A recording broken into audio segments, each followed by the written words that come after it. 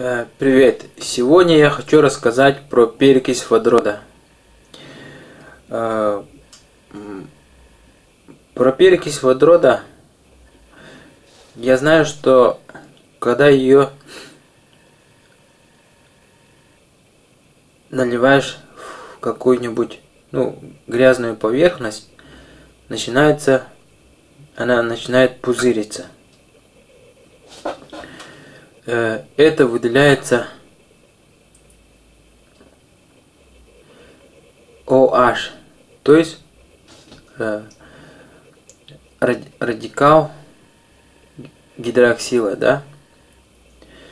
Потому что э, перекись водорода, она состоит из двух кислородов и одного водорода. Поэтому и называется пере, пере, то есть слишком, да? Перекись, то есть кислород водорода, то есть одного водорода. То есть э, один водород и два кислорода. Э, в, этом, в этой названии перекись водорода люди могут э, подумать, что перекись водорода это дает какой-то водород, да? На самом деле там никакого водорода вообще нету. Это кислород. То есть э, для чего организм использует перекись водорода?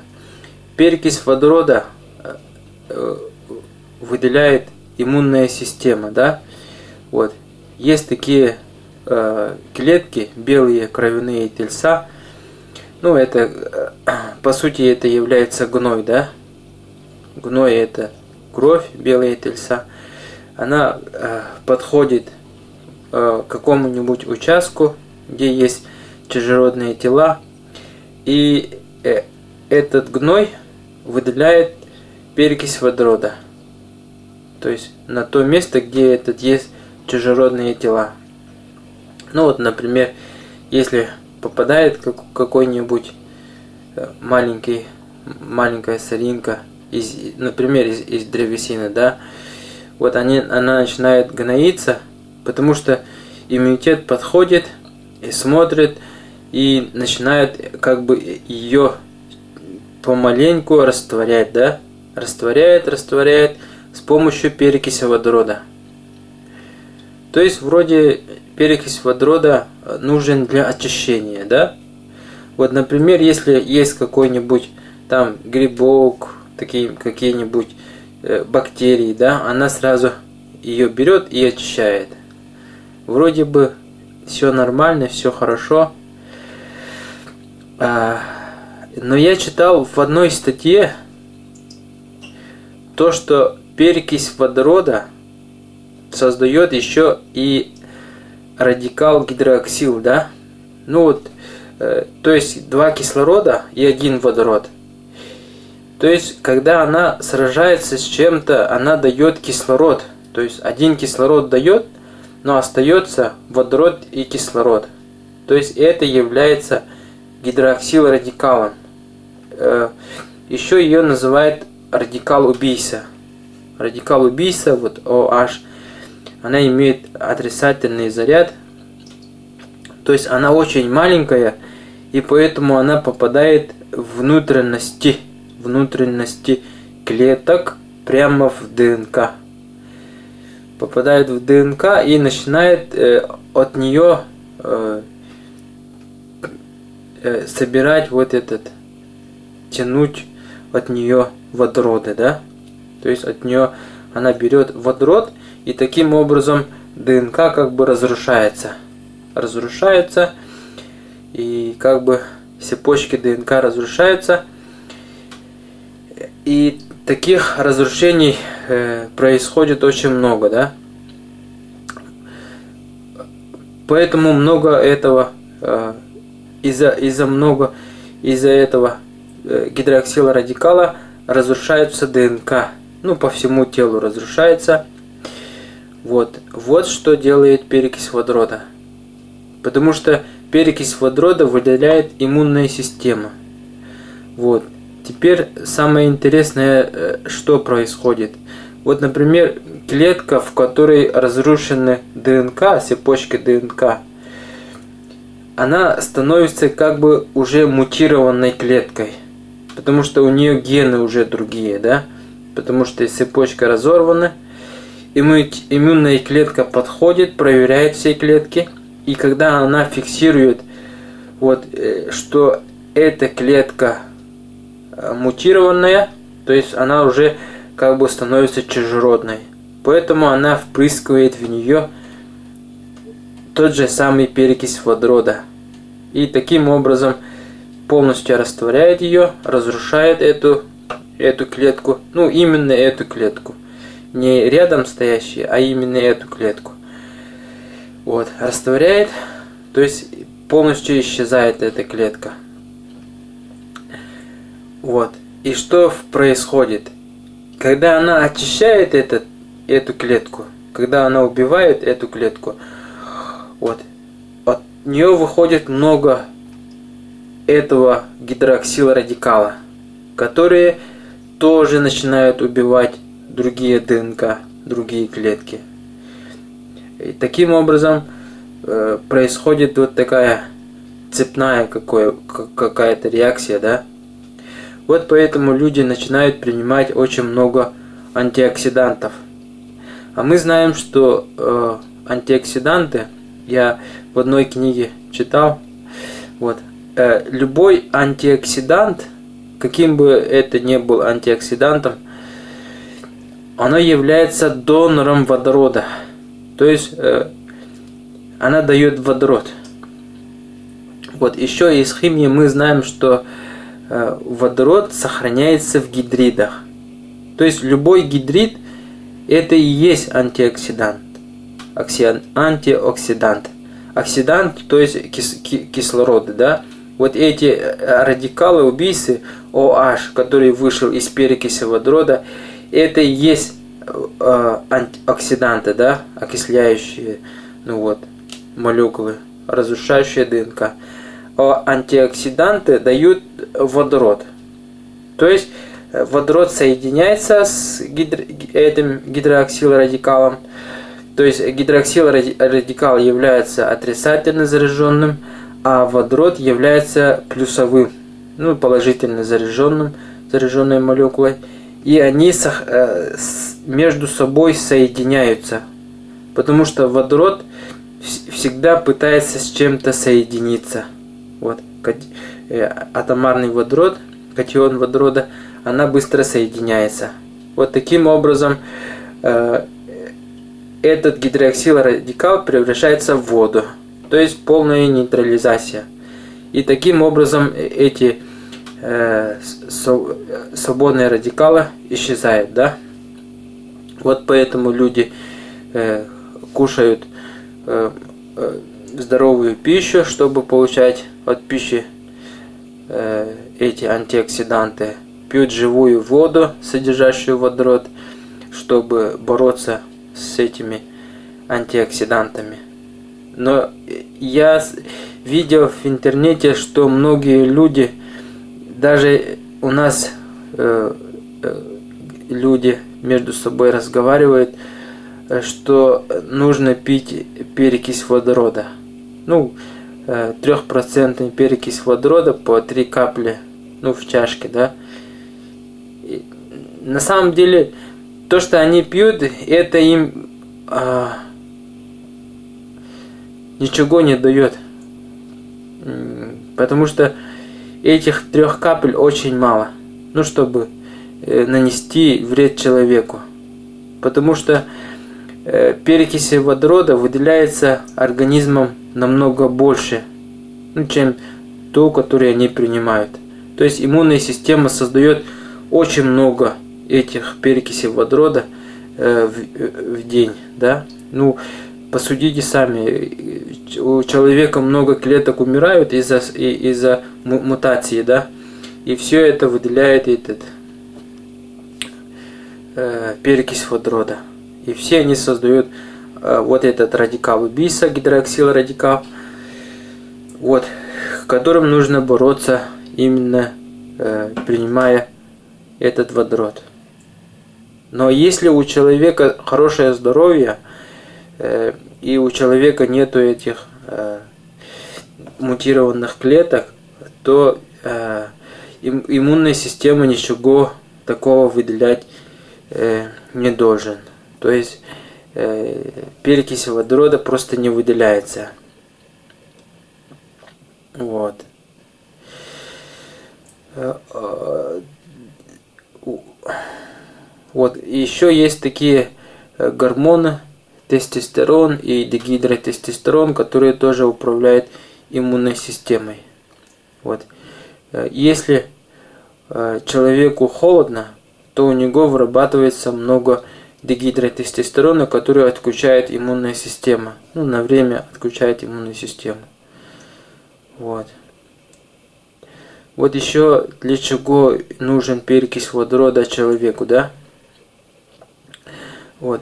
Э, для того, чтобы бороться с болезнями. Ну, главная причина, вот для чего нужен э, перекись водорода, это борьба с болезнями. Например, какой-нибудь вирус гриппа, да, чтобы бороться с этими вирусами, иммунитет выпускают много этого перекиси водорода. Иммунитет знает, что он выпускает много перекиси водорода. Поэтому он вынужден из человека э, вызвать вот, э, антиоксиданты, которые есть в самом человеке. Поэтому он начинает э, нагревать гидриды ну, мы сказали, гидрид это, э, то есть э, хранитель водорода, который при холоде сохраняет водород, а когда тепло освобождает, да? Поэтому иммунитет знает, что он выпускает много перекиси водорода, и что будут вырабатываться эти гидроксилрадикалы, и поэтому иммунитет каким-то образом с помощью этих своих механизмов иммунной системы, поэтому и называется иммунная система, начинает нагревать тело человека, да? Нагрев э, выпускает много водорода. Ну вот, э, э, вот гидриды, которые охраняют водород, при нагревании выпускают водород. То есть выходит много водорода, и они борются с этим гидроксилрадикалом. Вот. И человек как бы выздоравливает. Но если у человека нету этих водородов, то как бы организм не старался нагревать тело человека, э, этих водородов-то нету, но, но иммунитет-то не знает, что у человека нету этих водородов. Поэтому она все равно пытается нагреть тело человека. Вот по, по, поэтому, по этой причине еще врачи рекомендуют э, пить много воды, да? Ну, как я и, и говорил, что э, с, с, э, то есть в воде должен быть водород. То есть, если вы пьете кипяченую, но холодную воду, то эта вода вам не поможет. Вам нужно пить не кипяченую воду. Если вода нагревается выше э, 30, вот, 37-38 градусов, то от нее уже начинают выходить пузырьки водорода, то есть она уже как бы теряет свои свойства вот этого свои свойства, да? Вот. Но это видео более нацелено на то, чтобы э, сказать людям, чтобы они э, имели э, какое-то представление о перекиси водорода, ну, чтобы они не говорили, что если пить перекись водорода, то а, у них как бы будет улучшаться здоровье. Я думаю, что никакого улучшения у них не будет. Просто по той простой причине, что перекись водорода, она уничтожает все подряд. Ну, если человек выпил, то она попадает в желудок и сразу начинает съедать эти э, пищу, которую вы съели. Вот. И она как бы уже теряет свои свойства. Но при этом освобождает тот самый радикал убийцу, гидроксил радикал. Вот именно этот гидроксил радикала и портит, портит как бы наш, наш, э, наш организм, да? Вот. Когда, допустим, клетка умирает, отсутствующую, отсутствующую клетку заменяет рядом стоящие клетки. Они вот э, делятся, и получается, что появляется новая клетка. Вроде бы все хорошо, все радуются, потому что эта клетка умерла, рядом стоящая дала, да? Но эта клетка может делиться всего 50 раз, потому что у нее есть предел деления. Вот, когда она делится, у нее заканчивается этот предел. И этот предел называется лимитом Хейфлика. Ну, поэтому и человек э, стареет и умирает. Вот. Вот почему люди стареют и умирают. То есть э, причиной э, старения и смерти человека является тот самый перекись водорода. Ну, по сути, наш иммунитет э, съедает нас самих, да? Поэтому мы должны э, помогать иммунитету набираться этого э, водорода. Вот некоторые еще, чтобы сохранить себе этот водород, занимаются моржеванием. Но это, в принципе, э, правильно, да? Когда есть, если человек кушает много еды, которая содержит, содержит много водорода, и она в организме э, находится в ну, каком-то балансе, и, и ее много, и когда человек занимается моржеванием, эти водороды быстро сохраняются в именно в жирах, то есть когда холодно, то есть в гидридах жиров она сохраняется, чтобы впоследствии, когда человек заболеет, человека поднимается температура, и эти водороды, которые он, э, они сохранились во время моржевания, они и освобождаются. И эти водороды э, начинают бороться с этим гидроксилом радикалом, который выпускает этот этот самый э, иммунная система, да, иммунные, иммунные клетки, вот белые кровяные тельца. На самом деле эти белые кровяные тельца, они похожи на бактерии. Вот маленькие бактерии, которые бегают туда-сюда и очень быстро э, гоняются за бактериями, э, смотрят, э, и идут куда-то, смотрят. Вот, вот такая у них работа. То есть она, они бегают, смотрят, и они очень резко, быстро двигаются. И у этих бактерий, вот, то есть этих кровяных телес белых, у них есть грозное орудие, да? Ну вот, грозное химическое оружие и перекись водорода, которым они и уничтожают. То есть Перекись водорода по сути является орудием для уничтожения. И это оружие э, выделяет токсичные, э, вот, токси, токсичные вот вещества, которыми является гидроксилрадикал. Вот. Какое оружие может принести добро, да?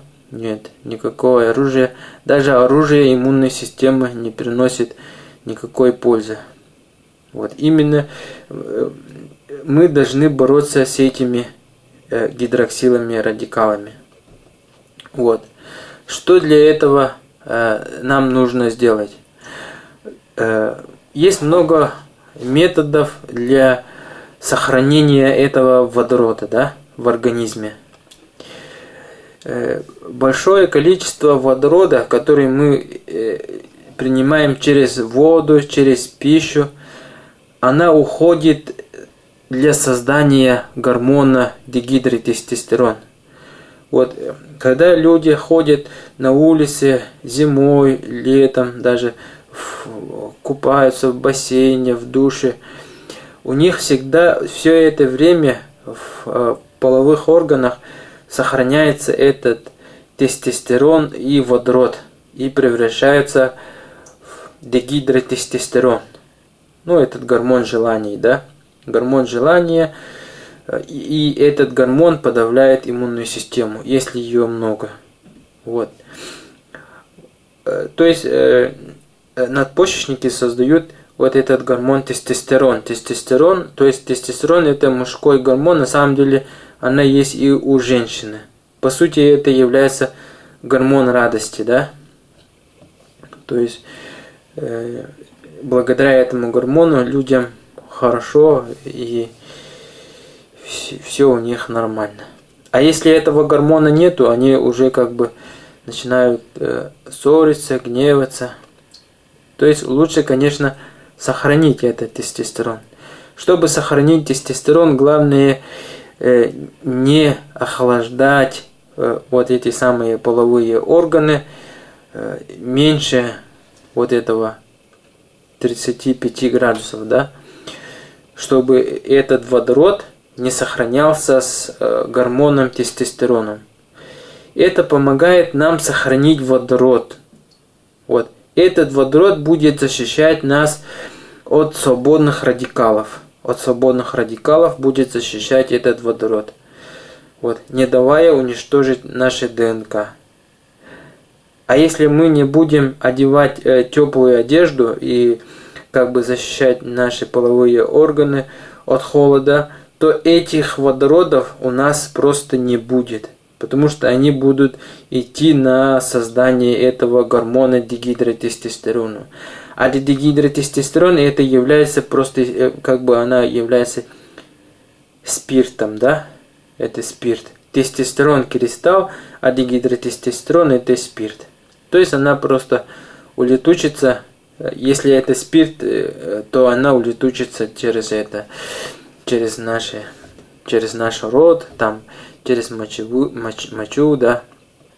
То есть мы просто, по сути, тратим свой этот водород. Поэтому, э, чтобы сохранить водород, нам нужно одеваться тепло. И тогда у нас будет много водорода, который будет защищать нас от свободных радикалов. Так мы сохраним свое здоровье и будем как бы, э, ну, уже не будем стареть, да? потому что старение происходит из-за сокращения этого лимита Хейфлика. Ну вот этот э, клетка умирает, рядом стоящие делятся. Вот чем они больше делятся, у них сокращается лимит. И мы должны сохранить этот лимит с помощью этого водорода. Вот, вот водорода. Вот. Вот таким образом, если вы понимаете мои слова, то у вас в голове должно, должно все упорядочиться, да? То есть иммунная система создает перекись водорода, перекись водорода создает гидроксилрадикал. Но это неизбежность, да? Это химия, физика, то есть это неизбежность. И для борьбы с этим иммунитет выделяет много водорода. Ну, с помощью нагрева тела. Вот.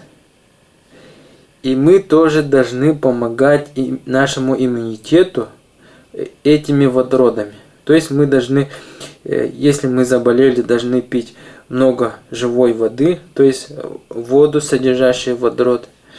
И много есть э, пищи, которая содержит эти антиоксиданты, да, то есть, то есть здоровую пищу, там фрукты, овощи, зелень, да, вот. Э, Еще э, как мы можем защитить э, свой организм, да, от этого гидроксила радикала, который выделяет перекись водорода. Как, как мы сказали, только водородом. водородом. А как мы можем получить водород еще кроме этой еды, питья, да, мы можем получить водород, ну, еще и, и сохранением водорода с помощью этого тепла, да, ну, одева, одеваясь тепло, сохраняя э, наш тестостерон. И еще мы можем получить водород через наши ноги. Вот. У нас есть две ноги, да? Две ноги.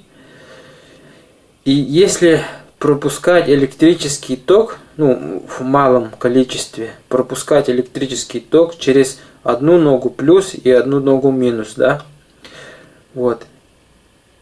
И этот электрический ток э, входит через воду, содержащую водород.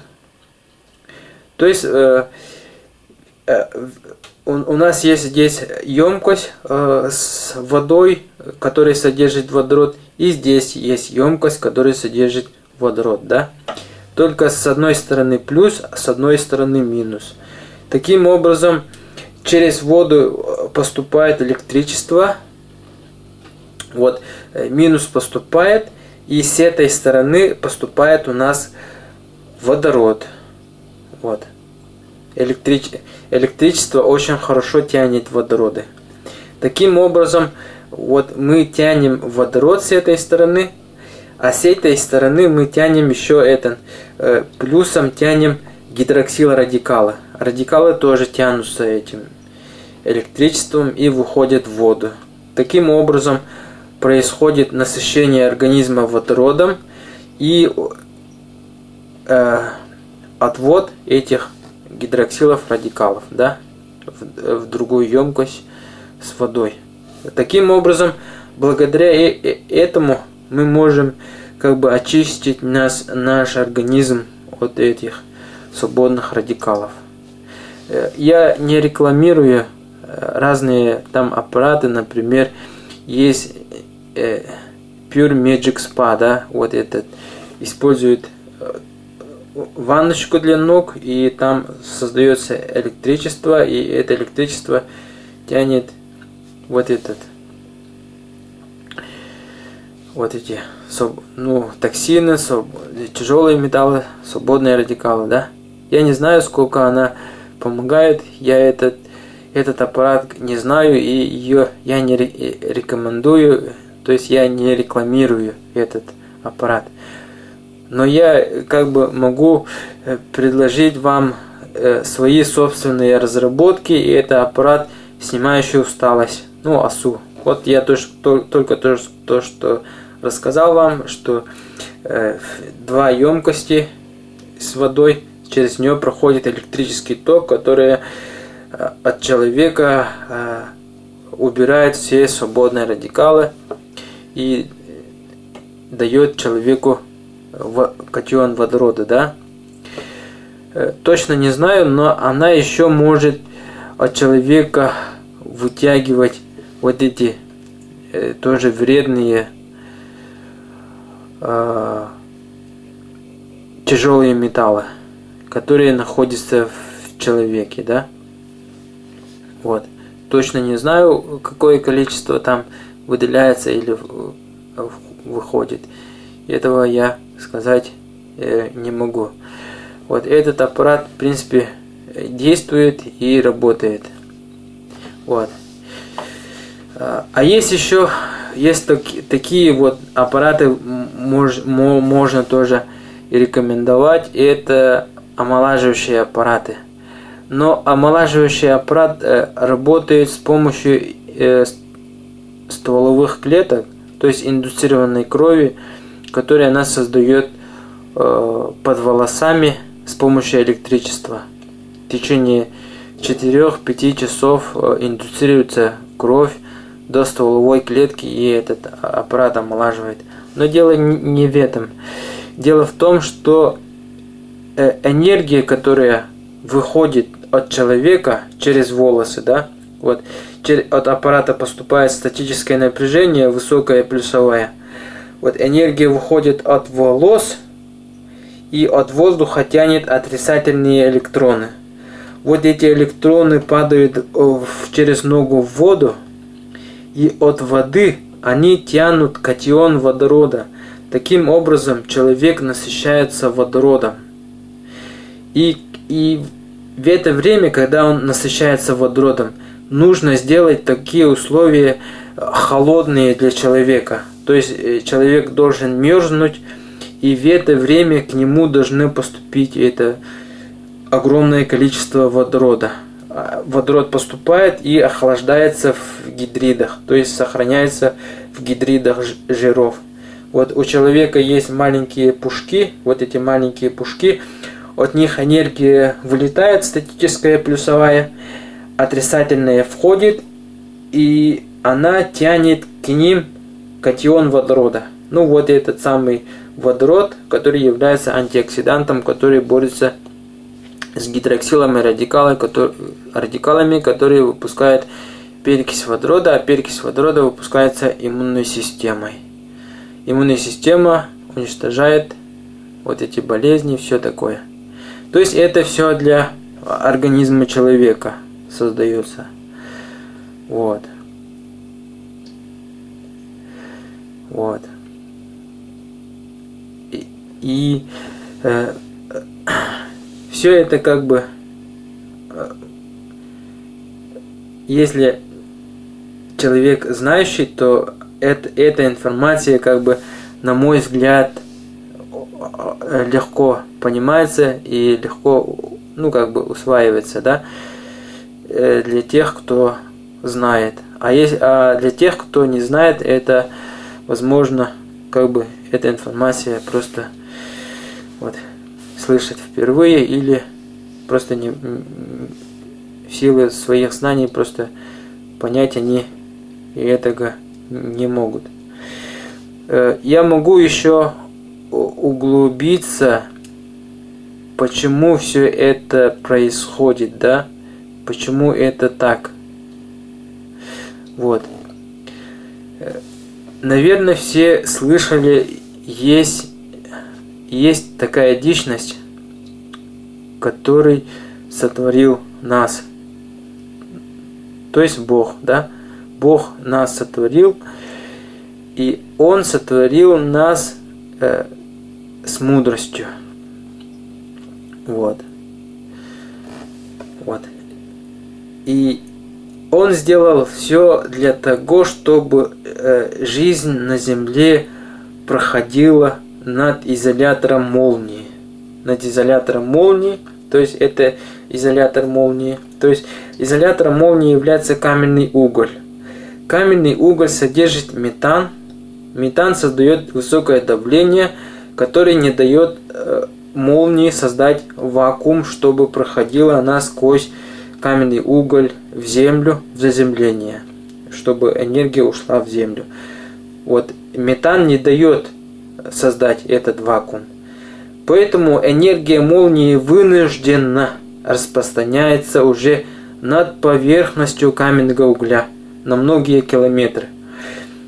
И, как мы сказали, вот эта статическая энергия выходит от волос, омолаживает человека, дает человеку водород, а водород сохраняется в гидридах жиров.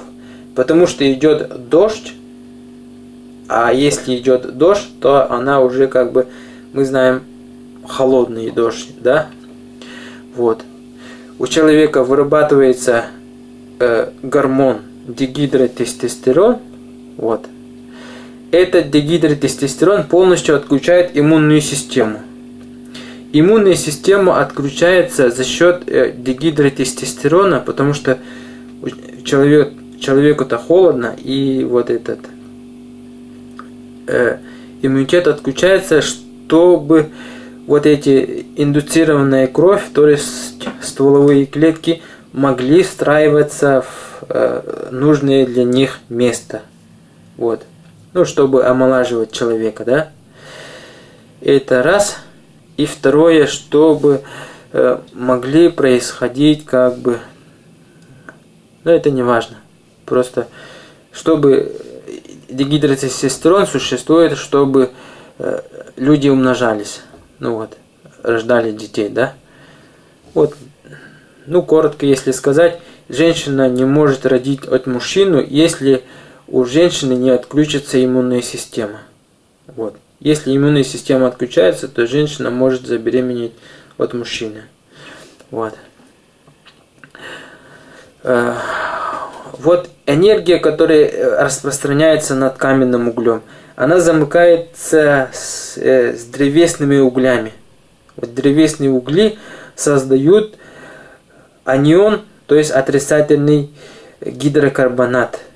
То есть H2SO3. Эта молекула является удобрением, хорошим удобрением для растений, а для человека она может как бы э, и защитить человека от э, тяжелых металлов, ну, от любых металлов, да. Вот. И при этом еще а, выделяется водород. Много водорода выделяется, который поднимается наверх на небо. А по пути она попадает в шляпу гриба, и таким образом гриб сохраняет водород. Но в то же время вот этот водород через э, ноги человека поступает к нему. То есть поступает к человеку, и из-за из холода человек сохраняет этот водород себе. Ну, таким образом, э, в таких условиях человек стареть не может. А если даже и постареет, то он будет омолаживаться. Потому что вот эти э, участки, где не хватает вот этих э, клеток, да, вот с дополнительным лимитом Хейфлика, к ним э, встраиваются новые клетки. Новые клетки встраиваются. Допустим, человек жил 70 лет, да, или 75 лет. У него лимита Хейфлика осталось очень, ну там, одна-две деления. Потом уже деление э, заканчивается, и человек как бы стареет и умирает. А вот если к нему попадает вот эта новая стволовая клетка, ну вот э, кровь индуцируется под волосами, и если ему встраивается эта новая клетка, то эта новая клетка будет делиться уже 50 раз. И таким образом эта новая клетка будет делиться внутри человека, внутри кожи, там, внутри органов много-много раз, и таким образом э, э, человек будет как бы омолаживаться. Даже если встроится одна клетка, она будет делиться 50 раз. Ну вот, посчитайте сами. Э, одно деление 2 клеток, от, от двух клеток 4, от 4 8, от 8 уже так, так, и уже как бы она быстро-быстро много-много э, размножается, да. Ну, если даже человек был создан из одной клетки, из одной яйцеклетки, да, то если человеку попадает не одна клетка, а много клеток, то он, конечно же, будет намного быстро омолаживаться. Вот. И таким образом э, я хочу закончить этот маленький рассказ про перекись водорода. Э, потому что я просто э, не советую э, принимать перекись водорода, а советую принимать водород. Спасибо за внимание.